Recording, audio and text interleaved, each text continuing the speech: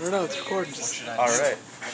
Well, we decided to have a more of a horizontal one so it could catch any wind direction, and the two bottles on each uh, axle so it could catch more wind.